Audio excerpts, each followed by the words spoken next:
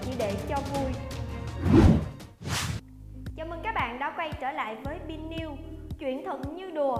Sau khi đổi vợ, anh Tê phải đền bù cho anh V một cây vàng 24 carat bởi vì vợ mình xấu hơn. Mời các bạn cùng theo dõi những thông tin chi tiết. Người xưa có câu giàu đổi bạn sang đổi vợ. Nhưng ở đây hai người đàn ông nghèo rất mồng tơi Phải vào tận vùng đệm U Minh Thượng để sinh sống. Vậy mà chuyện đổi vợ vẫn xảy ra. Anh cán bộ phụ trách công tác mặt trận tổ quốc của xã Đông Hưng, huyện An Minh, trước đây là chủ tịch Ủy ban Nhân dân xã An Minh Bắc kể rằng hai người đàn ông này là anh T và anh V ở kênh 16 ấp Ninh Hưng do hoàn cảnh khó khăn. Cả hai đã được chính quyền địa phương xem xét các đất trong vùng đệm U Minh Thượng để lập nghiệp. Ở vùng kinh tế mới, đường xá đi lại rất khó khăn, nên ai về đây cũng nghèo khó nên mọi người đều đùm bọc lẫn nhau. Cũng vì vậy, hai gia đình này thân với nhau hồi nào cũng không biết. Cũng vì cái tính hay nói, nên có lần nhậu cao hứng, anh bảo với bạn mình đổi vợ để làm mới cuộc đời. Nghe bạn nói, anh V cũng chỉ cười đùa phụ họa. Bởi theo anh, bạn bè thân nhau nói chơi cho vui trong bàn nhậu, chứ ở đời ai mà làm chuyện kỳ cục. Nhưng câu nói đùa ấy đã trở thành hiện thực. Chuyện hai người này sau đó đổi vợ là thật 100%.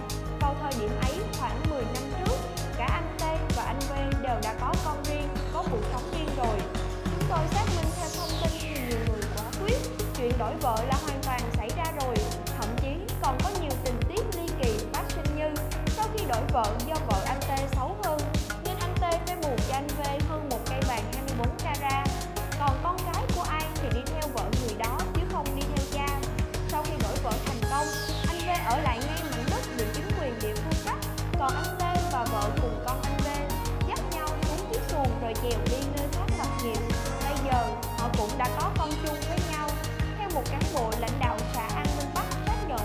vợ chồng anh T và vợ chồng anh V khi lấy nhau không hề có đăng ký kết hôn.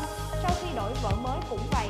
Hiện giờ họ đã sống chung với nhau như vợ chồng rồi, ai cũng biết. Và ngay cả họ hàng hai bên cũng đồng ý nên chuyện đăng ký kết hôn hay không thì xã chỉ tuyên truyền. Họ không lên xã đăng ký cũng chịu.